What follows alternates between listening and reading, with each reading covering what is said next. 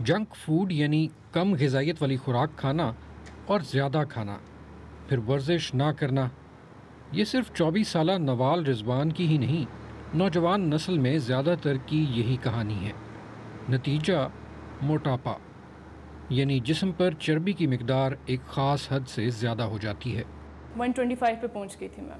اور within three to four months میں نے اس کو ریڈیوس کیا اور 115 پہ آئی ہوں اور میں ابھی تک کر رہی ہوں۔ اپنا کم کرنا چاہ رہی ہوں۔ سوشل پریشر آ جاتا ہے، فیملی پریشر۔ تو ایک یہ کہ میں اپنے لیے بھی خود اچھا دیکھنا چاہتی ہوں، اپنے لیے۔ یہ کہ سوسائٹی میں بندے نے فٹ بھی ہونا ہے، کیونکہ آپ بار بار ٹونٹس نہیں برداشت کر سکتے۔ ڈاکٹروں کے مطابق اندازن پاکستان کی ایک تہائی آبادی میں وزن کی زیادتی پائی جاتی ہے، جبکہ کل آبادی کا دس سے پندرہ فیصد باقاعدہ موٹاپے کا شکار ہے۔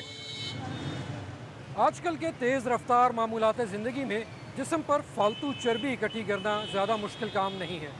تاہم، نہ تو اس سے چھٹکارا حاصل کرنا آسان ہے اور نہ ہی موٹاپے کے ساتھ زندگی بسر کرنا۔ صحت کے مختلف مسائل کے ساتھ ساتھ آپ کو مسلسل معاشرتی دباؤ کا سامنا بھی کرنا پڑتا ہے۔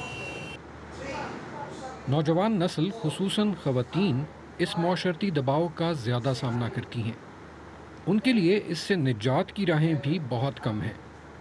جہاں زیادہ سے زیادہ نوجوان مرد آج کل جم اور ورزش کا راستہ اختیار کر رہے ہیں، زیادہ تر خواتین کے لیے ایسا بھی ممکن نہیں ہوتا۔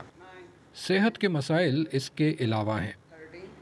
یہ جو چربی جو ہے خون کی رگوں میں جمنی شروع ہو جاتی ہے اور اس کی وجہ سے خون کی نالیاں سخت ہو جاتی ہیں اور جب خون کی نالیاں سخت ہو جاتی ہیں تو اس سے بلڈ پریشر بڑھ سکتا ہے، دل کی خون کی شریانیں بند ہو جائیں تو اس کی وجہ سے ہارٹ اٹیک ہو جاتا ہے، دماغ کی خون کی شریانیں بند ہو جائیں تو اس کی وجہ سے فالج ہونے کا امکان ہوتا ہے، گردے کی خون کی نالیاں بند ہو جائیں تو گردہ فیل ہو جاتا ہے۔